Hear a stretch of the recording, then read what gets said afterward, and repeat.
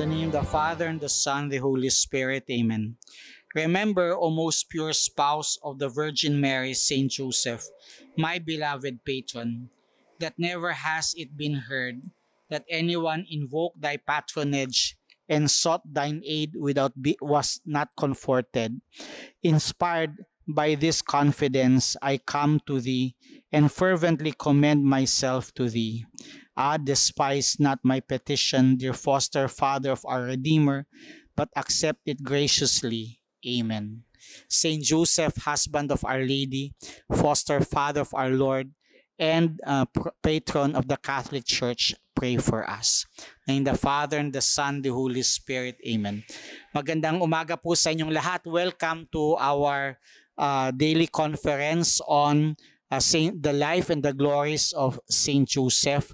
And uh, our conferences are uh, uh, uploaded regularly on our YouTube channel, Sense of the Sacred. So don't forget to uh, uh, subscribe and to click the notification bell. Okay?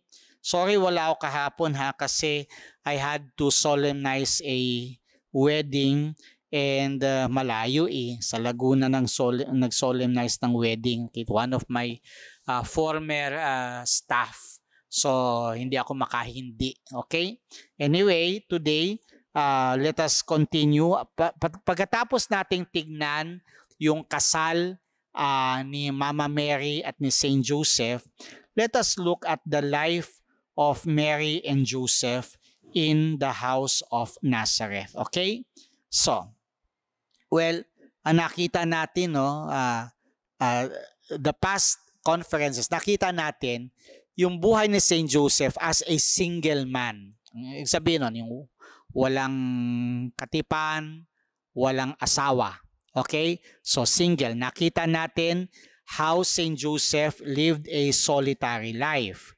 Ngayon naman, tingnan natin the life of Saint Joseph uh, with his uh, spouse, the wife who is the Blessed Virgin Mary. Okay? So, uh, uh, dito natin makita, uh, well, nakita natin na uh, ang, ang mag-asawa, Saint Joseph at si Mama Mary, ay uh, uh, nanirahan sa Jerusalem, okay? At may bahay si ang kanyang mga ang mga magulang ni Mama Mary, Saint Joachim and Anne, malapit doon sa uh, uh, pool of Bethesda, di ba? Pag kayo pumunta doon, meron doon Church of Saint Anne na malapit na malapit doon. Okay? Now, hindi sila nagtagal doon sa sa Jerusalem. Bagkus ay uh, lumipat sila sa Nazaret, okay? kung saan uh, may namana si Mama Mary mula sa kanyang mga magulang na isang maliit na bahay. At yung maliit na bahay na yon ay ang uh, ngayon kinatatayuan ng uh, Basilica of the Annunciation. Okay? Although makikita nyo doon kapag kayo pumunta sa kapag kayo pumunta sa Nazareth na nawawala yung bahay, no? Nawawala yung actual na bahay kasi ang ang bahay na iyon ay natatagpuan ngayon sa Loreto, sa Italy, yung the Holy House of Loreto. Di umano ang istorya ay noong uh, noong sasakupin na ng mga Muslim ang Holy Land at uh, well, ang ginawa ng mga anghel upang sa gayon ay hindi masalaula, no? hindi malapastangan ang banal na tahanan ng mahal na Birheng Maria, ito ay iniangat nila at ito'y inilipad nila at dinala nila doon sa Loreto, kung saan ngayon naroon ang bahay ng mahal na Birheng Maria. Okay? So, uh, bakit bakit lumipat mula Nazaret patung uh, mula Jerusalem patong Nazaret ang mag-asawa, well, ito'y dahil sa kalokohan ni Haring Herodes. Okay? Si Haring Herodes, natatanda natin yung kwento na hindi siya totoong anak ni David. Ang uh, pagiging hari niya sa Jerusalem ay isang posisyon na, binig, na binili niya mula sa emperador ng Roma.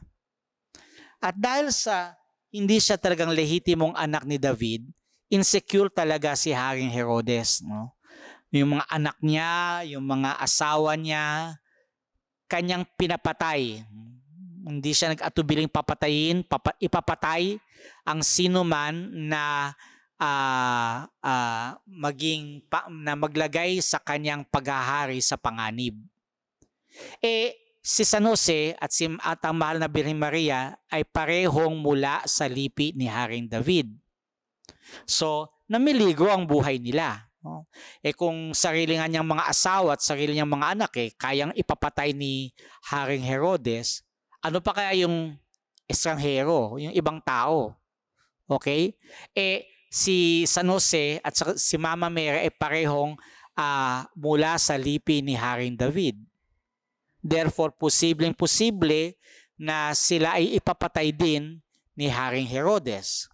Kaya para matakasan ito, iniwanan nila ang bahay sa Nazaret at sila ay uh, so iniwanan nila ang bahay sa Jerusalem at sila ay nagtungong Nazaret. Okay? Na kung saan sila ay uh, sila ay nanirahan ng isang napakasimpleng napakasimpleng pamumuhay. Okay? Napakasimpleng pamumuhay. Uh, totoo 'yun, no? Totoo 'yun na uh, uh, si si si Jose at si Maria ay parehong galing sa lipi ni Haring David pero hindi sila nabuhay ng marangya. Hindi hindi sila hindi sila nabuhay tulad ng mga hari at ng mga reyna. Bagkus nabuhay sila sa isang simpleng pamamaraan. Ang uh, sabi ni Maria de Agreda, sabi niya na pagkatapos daw na uh, ng kanilang kasal ay ipinagbili uh, ni Mama Mary ang kanyang mga ari-ariang namana. Meron siyang namana sa Jerusalem, meron siyang namana sa Mount Carmel, at meron din sa Nazaret. No? Ay yung, pinagbili, yung bini, pinagbili niya ay yung bahay sa Jerusalem at yung bahay sa Mount Carmel. At uh, ang pinagbilhan ay parang pinarte nila. Okay? One third ay inabuloy sa templo, one third ay ibinigay sa mga mahihirap, at one third naman ay ipinagkatiwala ni Mama Mary kay Saint Joseph. Okay? Ah, uh, uh, totoo, pera ni Mama Mary kasi ari-arian yon ng kanyang mga magulang na si San Joaquin at Santa Ana na noon ay pumanaw na. Okay? Pera ni Mama Mary. Subalit, ipinagkatiwala niya ang lahat ng yan sa kamay ni Papa Joseph, ni Saint Joseph, kasi si Saint Joseph ang asawa niya. No? At si Mama Mary, well, uh, siya'y uh, umasa sa kanyang asawa, okay? At uh, well, siyang naging bahala naman sa mga gawaing bahay. Okay? At uh, uh, kailanman hindi nakialam daw si Mama Mary doon sa uh, mga transaksyon ni Saint Joseph. Okay? Hindi hindi niya kailanman hinawakan ang pera. Na si Saint Joseph ang ulo ng pamilya dahil siya ang asawa, siya ang ama. Okay, si Saint Joseph ang ulo ng pamilya at siya ang katiwala at administrador ng lahat ng mga pananalapi ng banal na mag-anak. Okay? Ngayon, uh, uh, well, yung Nazaret yun lang ang bahay na hindi nila pinagbili. Kaya doon sila nanirahan. Okay, doon sila nanirahan. Ngayon, uh, nakita natin si San Jose na naging isang masipag na anluwage o isang masipag na kalpintero. At uh, ngayon, well, tinanong naman uh, uh, uh, tina- tinanong niya ang mahal na birhen kung payag bang mahal na birhen na ipagpatuloy niya ang kanyang pagiging karpintero upang sa gayon ay patuloy silang may maibahagi sa mga may hirap at patuloy na maging panustos sa kanilang pamumuhay. No? Siyempre, pinayagan siya ng mahal na birhen, sinabi niya na bagamat ayaw ng Panginoong Diyos na sila'y yumaman, subalit, uh, well, uh, kailangan din naman nilang maghanap buhay upang hindi maging miserable ang kanilang buhay. Sa katunayan nga, sabi ni Maria de Agreda, ang sabi niyang ganun ay uh, uh, nagpaligsahan pa nga ang banal na mag-asawa upang uh, hindi upang tingnan kung sino mas mataas o sino ang mas mababa kundi nagpaligsahan pa nga sila sa paglilingkod sa isa't isa. So sa kanyang kababaang loob, tinuri ni San Jose na hindi siya karapat dapat sa lahat ng mga uh, ng makayamanan na ipinagkatiwala sa kanya ng Diyos. Ganun na lamang yung paghanga at pamimintuho niya sa mahal na birhen. Kaya nga, uh, ano, bagamat siya ang ulo ng kanyang asawa, okay, pero pinagsilbihan niya ang, ang mahal na birhen. No? Pinagsilbihan niya ang mahal na birhen. Si San Jose ang pinakauna sa lahat ng mga naglingkod sa mahal na birhen. Saint Joseph was the first devotee. Okay, if I may say that, sorry. If I may say that, Saint Joseph was the first of the many other devotees of the Blessed Virgin Mary. Saint Joseph, though he is husband, though he is the head of the Holy Family, he placed himself at the service of the Blessed Virgin Mary. He placed himself at the service of the Blessed Virgin Mary. Gayon din naman, si Mama Mary naman, ginalang niya si Saint Joseph. No? She was very, very uh, obedient to Saint Joseph. No? So, uh, sabi dito ha, alam ni Saint Joseph na siya ang ulo ng pamilya. Okay? Sapagkat siya ang sapagkat ang asawa, ang lalaki ay ang ulo ng kanyang may bahay. But his veneration for Mary was so profound, he considered himself unworthy to be her companion. Kung pwede lang nga ay hahalikan niya ang lupa na tinatapakan ng mahal na birhen. Okay? He was always on the watch to render her some service. Lagi nag-aabang si Saint Joseph na paglingkuran ang kanyang asawa kahit hindi ito hinihingi ng mahal na birhen okay? Uh, uh, he, he he regarded himself as the most devoted servant rather than the spouse. So Saint Joseph loved our lady so exceedingly with a love like what the hev- that the angels feel for each other kung paanong nagmamahalan ang mga anghel sa isa't isa. Ganun kamahal ni Saint Joseph ang mahal na Birheng Maria. Okay. At uh, kung pwede lang ay may alay niya ang kanyang buhay para sa kanya. Okay? And yet, uh, doon pa lang ha, hindi pa rin nauunawaan masyado Saint Joseph ang uh, hindi mapapantay ang dangal ng mahal na birhen. Okay? So, he loved her exceedingly. At maaari nating panghawakan si Saint Joseph ang pinakauna. Okay?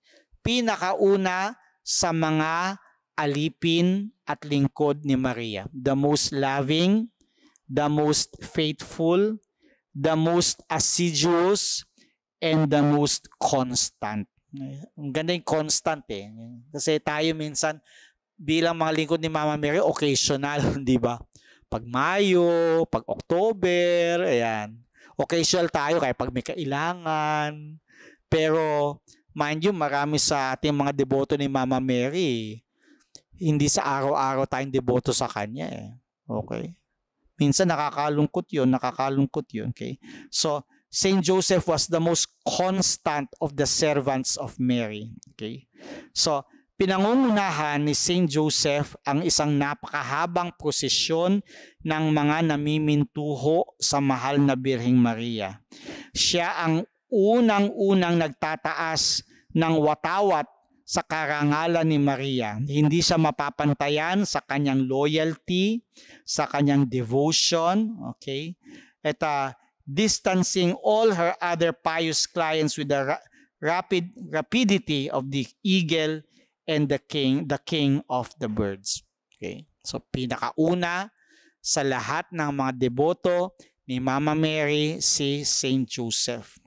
Gayon din naman, si Mama Mary naman hindi patatalo sa kanyang pagmamahal at paggalang para kay Saint Joseph. No? Natutuwa si Mama Mary na paglingkuran si Saint Joseph bilang kanyang, well, Lord, Panginoon, amo, okay? kasi siyang asawa. Okay? Ginalang niya si Saint Joseph bilang kanyang gabay at tagapagtanggol. At minahal ni Mama Mary si Saint Joseph ng labis-labis, treating him with all the honor with which scripture records that Sarah treated Abraham. So sabi ng banal na Biblia, Sarah called Abraham Lord. Okay? Implying much more than mere words express. Okay? So, um, um, well, Marvelous is, sabi nga ni Gerson, a famous theologian, marvelous is your sublime elevation, O Joseph. O incomparable dignity that the Mother of God, the Queen of Heaven, Sovereign Lady of the world, should not disdain to call her, to call you her Lord. Truly, truly. Okay? I know not uh, which most to admire. Hindi ko alam kung anong dapat ko mas hangaan. Yung pagpapakumbaba ni Maria o yung kadakilaan ni San Jose. Okay? So, Mary gave honor to Joseph not only as her husband, but as her tutor and guardian. Okay? So, she never departed from his wishes. Okay? She never she she uh, never moved a step without his permission nor undertook anything uh, without his consent. In everything she depended on the will of Saint Joseph because Mary recognized that the will of her husband is the will of God. Actually, ganun ang konsepto ng obedience. No? So, limbawa sa aming mga pare, no, the will of the superior is the will of God. Ganon din sa mag-asawa, the wife should always consider that the will of the husband is the will of God. So, since the virgin comprehended how great San Saint Bern uh, uh, okay. Ah, so ito. So, uh, in everything she dependent, okay. They were one heart and one soul. What accord what tranquility, what peace reigned between them. Sabi ni St. Bernardino Siena, since the Virgin comprehended how great was conjugal unity in spiritual love, and since the Virgin knew that this spouse has been given her directly by God, okay, Saint Bernardine, she sincerely loved Joseph with the entire affection of her heart. So, The love of the saints is the most ardent, the most perfect, and the holiest of loves. And, uh, well, the eminent sanctity of Saint Joseph above all saints comes from the fact that Mary's uh, of that, Mary had most ardent love for him.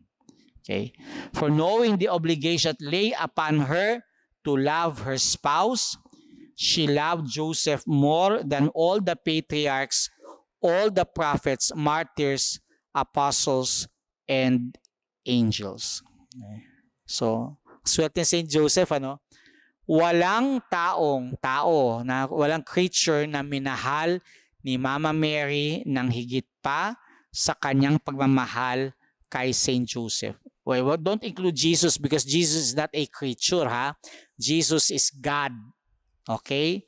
Pero Mama Mary indeed loved Saint Joseph to the point the highest honor of Saint Joseph is found in those words Joseph, the husband of Mary. Okay, Joseph, the husband of Mary. This was the foundation and the basis of the dignity of Saint Joseph. Okay.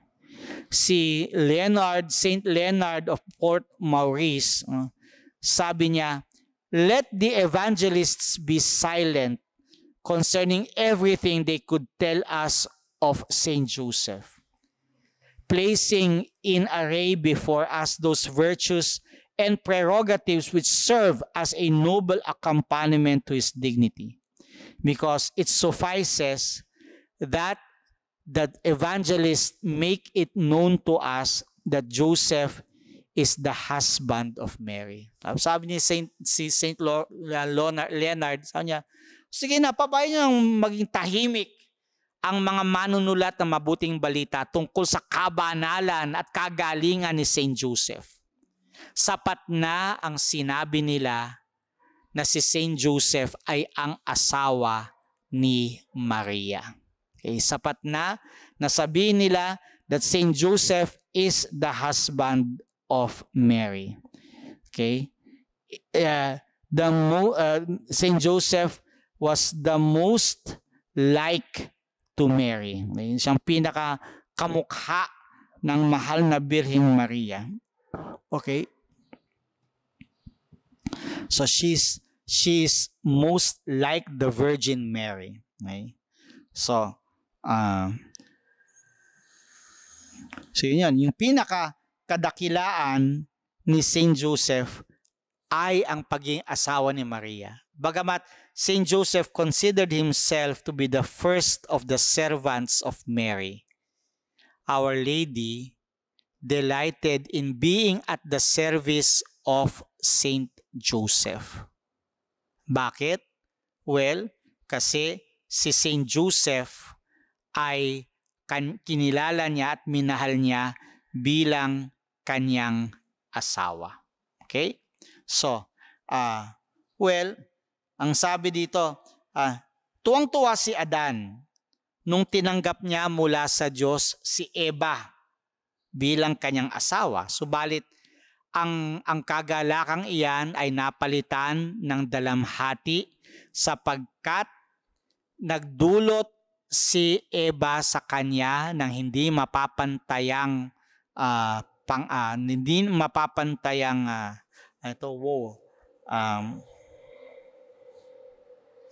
nako ito naman aking Tagalog Okay, nag si si si si Eva ang nagdulot sa kanyang di mapapantayang kapahamakan.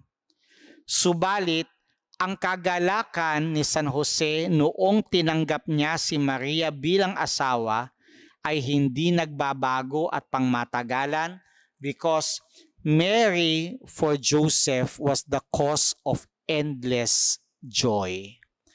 Diba? Diba si Mama Mary, ang tawag natin sa kanya, cause of our joy. Mary for Saint Joseph was the endless cause of joy. Okay? Dinala ni Mama, binigay ni Mama Mary kay Saint Joseph ang walang katap, walang ang hindi mauubusang kayamanan. It was her dowry. Okay? So that he might truly say, ang lahat ng mabubuting bagay ay dumating sa akin kasama niya hindi mabilang na makayamanan sa kanyang makamay. Okay?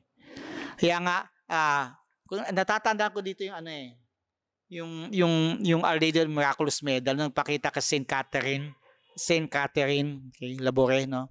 Nung inilahad niya yung kanyang, ang, ang mga singsing ng mahal na birhen ay, uh, bawat dalira ay may singsing. At mula sa singsing ay kumikinang ang liwanag. At noong uh, uh, inilahad ni Ma'am Mary patungo sa mundo yung kanyang mga kamay, yung mga liwanag, yung mga rayos ng singsing, no? ay pumunta, bumagsak sa lupa. Ang sabi ng mahal na birhen, ito yung napakaraming mga biyaya na handang ibigay ng Diyos sa pamagitan ko. Subalit, walang sino man ang naghahangad na makamit nun. Isipin mo yung mga biyaya na yon, salok na salok ni St. Joseph yon. Okay? Salok na salok ni St. Joseph yon. Okay? So, ah, kung ang mahal na birhen ay hindi nagkulang na magdulot ng biyaya kahit pa sa mga makasalanang tulad natin. Isipin nyo gaano kalaking biyaya ang nakuha niya para sa kanyang asawang si San Jose. Okay? Kung tayo mga miserableng mga nilikha eh, ay nakakakuha ng nakikinabang ng malaking malaki no? Sa pamagitan ng pakikipag-usap natin, pagsasama natin sa mga banal na tao, hindi mapapantayan iyon sa pakikipag-usap at pagsama ni San Jose sa mahal na Birheng Maria. So for many years, Mary inspired and communicated graces to Joseph by her looks, her voice, her example, her conversation. Okay? Ay yung mga tao nga, di ba, they all longed to see the Virgin. Saint Joseph saw her every day. So many people long to be in conversation with Our Lady. Saint Joseph conversed with Mary every day. And it was great, ano, great grace. Sabi niya, What a vast increase of spiritual joy and virtue uh, must we not was must we not esteem Joseph to have received from the companionship of Mary, no? Uh, hindi mapapantayan yung kagalakan at kabutihan na malamang ay tinanggap ni San Jose sa pagsasama-sama niya sa mahal na Birheng Maria has been worthy to hear the voice of the Mother of God, contemplate her heavenly countenance, and enjoyed not only her blessed presence, but even her conjugal affection and intimacy. Okay? So, hindi natin makakayanan talagang pag-usapan lahat yan. No?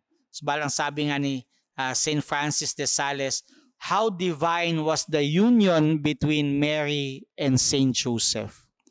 A union which caused the supreme good, the good of all goods, the Lord Himself, to belong to Joseph even as he belonged to Our Lady, not by nature but by grace, which made Joseph a sharer in all the possessions of his spouse. May, uh, made him continually increase in perfection by his continual communications with her who possessed all virtues in an exalted degree that no other creature, however pure and spotless, can attain to them.